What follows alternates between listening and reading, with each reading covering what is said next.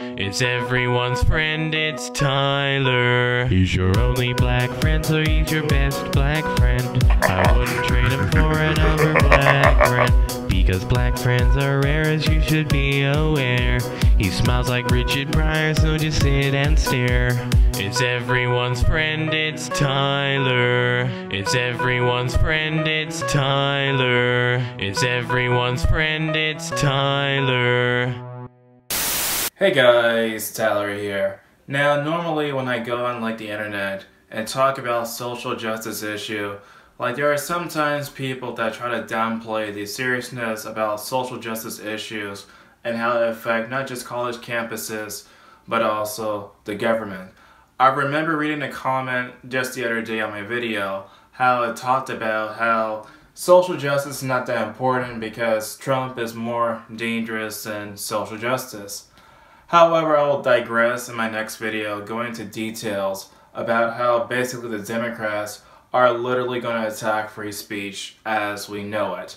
However, this video is a bit different because I'm also friends with another YouTuber. His name is Dislike Bomb. And so when me and him were looking at the laptop for an assignment for college campuses, we found like a training video that he had to do where basically all the stuff that you know about sexual assault and stuff is in that video. And so a lot of the claims that I found within that video were just so bad. And so I figured I'll share with you guys about the kind of stuff of what they teach about sexual assault for college campus students in United States.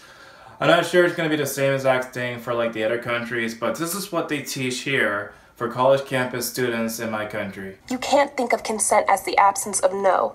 Consent must be the presence of yes. The surest way to know the line between sexual assault and mutual sexual activity is looking for participation, for enthusiastic consent. If someone isn't actively participating, they're not consenting. And remember, consent cannot be given by a person who is underage, drunk, drugged, or mentally impaired. I'm very much lost to the context of what this video is talking about because it's saying that unless someone is actively saying yes throughout the whole process about sex, that's not consensual in the slightest. And that to me sounds very, very dangerous. It sounds dangerous because when people have sex, obviously they have, of course, some sort of mutual agreement to have the sex. Like, of course, they start to kiss, they start to touch each other, and unless that person, of course, does not want the sex, they tell that person immediately that they don't want the sex. However, I never heard of a single case at all where a person constantly had to say yes throughout the whole entire sex to signalize that, okay, yes, I want to have the sex. That sounds ridiculous. Now, I do in fact agree that underage people, of course, they cannot consent, and these other kind of people cannot consent. But the mentally dispaired, I'm not sure about that. The mentally disabled, because I think that, of course, like it's entirely possible, like for like deaf people or people who cannot, of course, speak to you know show ways of consent. So I don't know, the idea that you only need to say yes to have consent is ludicrous to me. Formed and active yes, because without consent, it's sexual assault. And remember, consent can also be withdrawn at any time, and things have to stop immediately. So, is there any excuse for being confused about this? Not anymore. Consent can be withdrawn at any time. I'm not really sure that's the right phrasing for this. Like, yes, it's true that, of course, uh, people can ask somebody to stop having sex, but I've heard of stories where after someone had the sex and, of course, they did not like the sex, they started to withdraw the consent because they were not satisfied with the sex.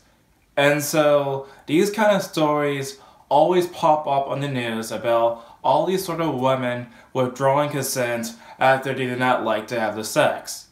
So, to me, this kind of phrasing is dangerous because it basically tells women that even if you don't like the sex, that was not consensual sex.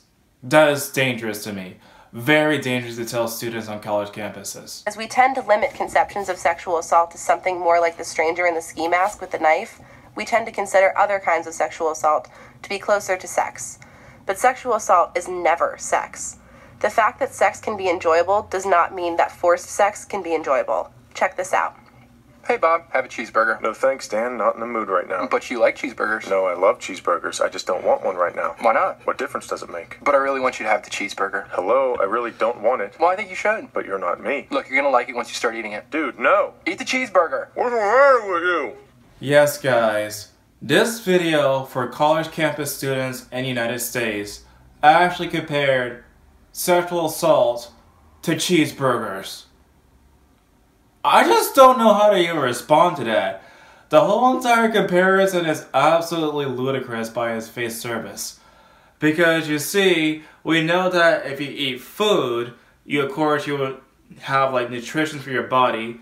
And if you don't eat food, of course naturally you'll die from malnutrition and starvation. We know that there are psychological effects when it comes down to rape.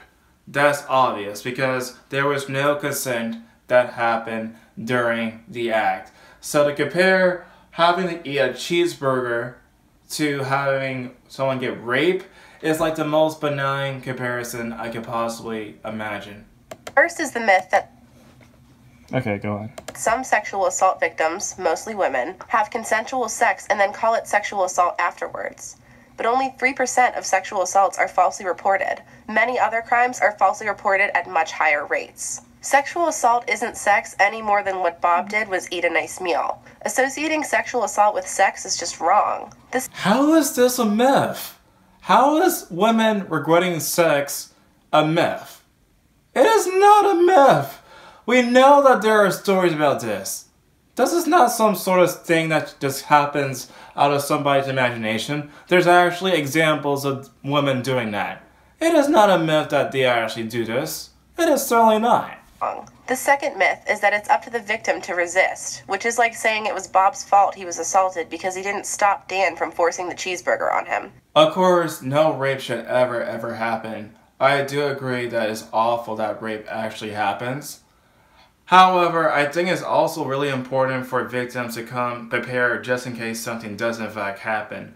Like, I think women who probably have some sort of, you know, anxiety about this should probably get some sort of pepper spray to actually spray the potential rapist just in case something happens.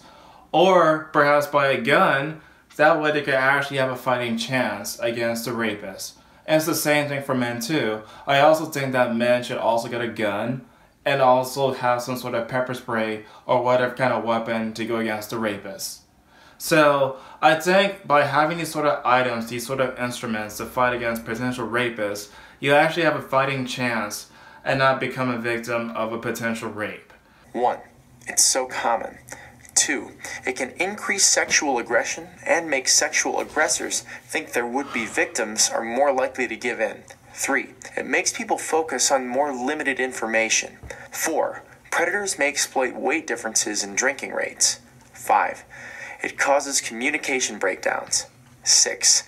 Caffeine can mask alcohol's effects, making blackouts more likely. Despite all of that, know that consent is not possible if someone is incapacitated. An incapacitation or intoxication is not a defense against sexual assault. If you get drunk and rob a bank, you go to jail. If you get drunk and drive, you go to jail. If you get drunk and hold up a convenience mart, you go to jail. If you get drunk and commit sexual assault, you go to jail. So is being drunk an excuse for any illegal act? Not anymore. Honestly, I think this topic is a bit more gray than what this video is portraying it to be. Yes, it's true that sometimes people do in fact try to take advantage of people by getting the bartenders, by getting more drinks for the women because of the body weight mass. And I think that it's true that there are just people that try to are trying to be prejudiced against like the people that they want to rape. That is true. And so yes, I do in fact think that some cases they do try to take advantage of women to rape them. But there are also cases where both parties consented, they're both drunk, and that they both want to have sex. So, sure, it's possible that a rape can actually happen because they want to take advantage of a person, but there also are cases where a couple do want to be drunk and want to have sex. So I think this sort of kind of topic is a bit in the middle. So there you have it. This is what they're teaching college campus students right now during this whole entire pandemic. And yes, I'm not even joking. This footage that I recorded with my cell phone comes directly from my friend, uh, Dislike Bomb. And so he's taking colleges right now. And so all the stuff is not fake. Like all the stuff we saw on his laptop that you guys saw. So yes, I'm I'm kind of worried about the state of education. Like they're trying to get the gender studies classes. They have critical race theory in the government. So yeah, the future is not looking bright for our students in this country, not in the slightest. But what do you guys think? Tell me in the comment section down below, and I'll talk to you guys next time.